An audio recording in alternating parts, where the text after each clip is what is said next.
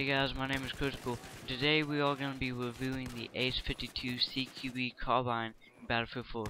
This carbine has a max damage of 34 and a minimum damage of 20, so that means anywhere between 0 and 8 meters is going to do 34 damage. And when you start shooting at an enemy that's further away than 8 meters, it's going to start dropping off from that 34 damage, and at 50 meters it's going to do 20 damage. So it's not that good at long range, so I would suggest not shooting at an enemy at range um, mainly just play domination or team deathmatch because that's where it shines because it's a beast in uh, close quarters combat. But if you play in conquest and rush and um, and all that the and obliteration and game modes like that I would suggest not shooting at an enemy that's at range um, because it does not do that good because it has a 650 rounds per minute and with that 20 um, 20 damage at range or dropping off from 34 damage at range, you're gonna put a little bit more shots into him. Uh, even though that's not hard, it's the uh, the recoil that you have to uh, account for when you're shooting at range, and it's not that good. So it has a 650 rounds per minute, and with that three uh, three shot kill in close quarters combat from zero to eight meters, it's gonna do it's gonna pretty much shine around the battlefield.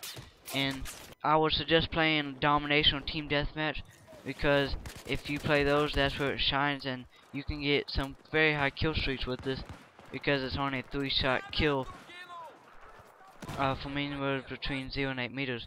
So, and it has a 26 round magazine where uh, most carbines have a 30 or 31 round magazine.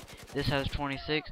Even though it's not that big difference if you're playing like the close quarters uh, maps or game modes where you only have to do three shots or four, four shots.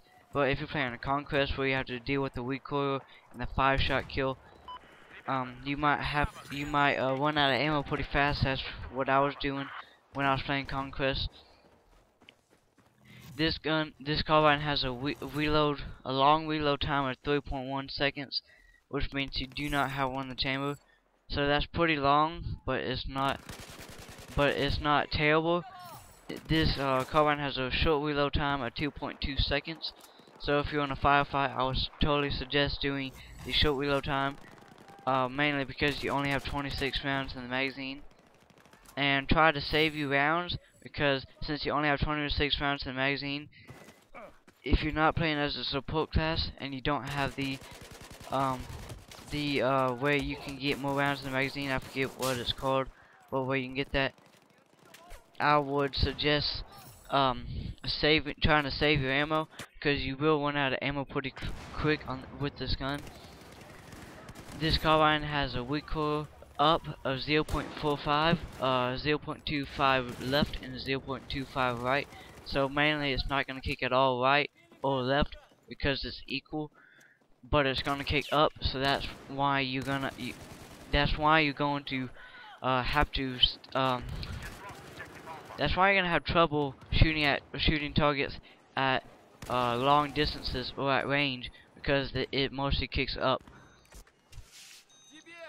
Um, the attachments I like to use on this gun, uh, actually I like to use no suppressors. I don't like to use suppressors because it slows down and it knocks down the damage and it also slows down the uh, RPM so I actually like to use a compensator or flash hider or um what is called? Muzzle brake whichever one. But um any sight I would suggest using red dot sight uh since you have that high uh recoil up I would suggest not using a zoom scope but that's on you. Uh since I'm playing on console I can't really con like on consoles you can uh, on consoles, you can't control the recoil as good as you can on PC. So if you're playing on PC, you might be able to, but I, but on console, I will not suggest it. Um, I don't use any attachments, but if I was, I would use tactical flashlight. And in most of my uh, clips here, I'm using the HD33 or the uh, Coyote sight because those are the only two sights I've unlocked for Red Dot. I, since I have not been using the uh, zoom in scopes. And um, the underneath attachment, I like to use the pota potato or stubby grip, whichever one, or angled grip because the angled grip helps you with the recoil, so you might be able to get away using a zoom scope on console uh, using angled ang while using angled grip, but like I said, well, like I said in previous videos, the attachments and all that in the sights are personal preference. So you can try using my uh what I use, but I can't always promise that it work best for you. Just try um different, just try different different um ways, like different attachments with different sights and all that, and uh see which one works best for you.